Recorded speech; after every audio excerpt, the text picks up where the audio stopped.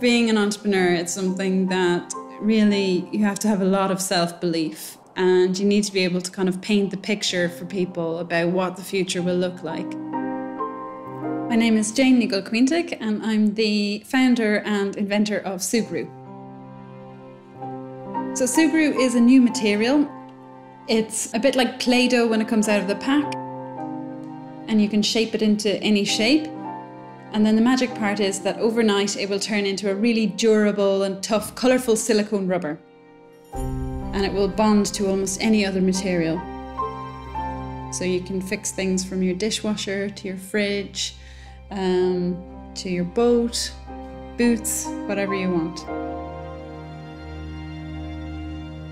The idea started when I was studying product design at the Royal College of Art here in London. And I guess I just felt a bit troubled actually about what design is in, in today's world.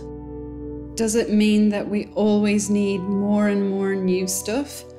Or could design actually be about the people that own the things adapting and fixing them and making them work better for them? What if it wasn't me that was the designer, the creative person, but everybody else? What if every granny that found it hard to open a tap or a jam jar was able to adapt the design of that to make it easier for her? And to me, that was just at the same time a tiny idea and a huge idea because that's something that like millions and millions of people could find that really useful if I could get it right.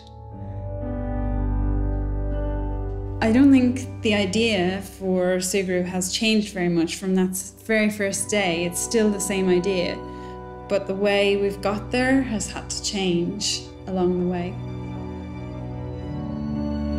It didn't matter to me that I had no experience in business or no experience in chemistry. I just felt, well, it's just a new thing I have to learn and let's find some people to work with.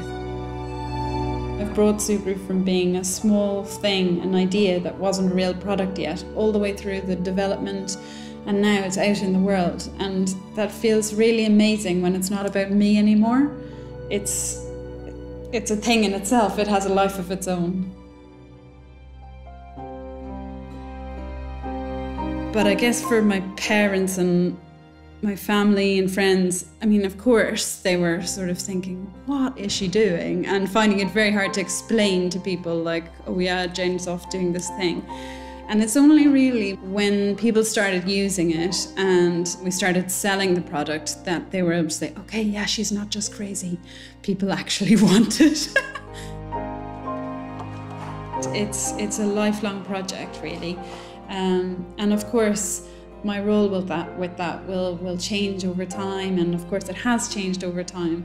But Sugru is my life. That's, it's a huge thing.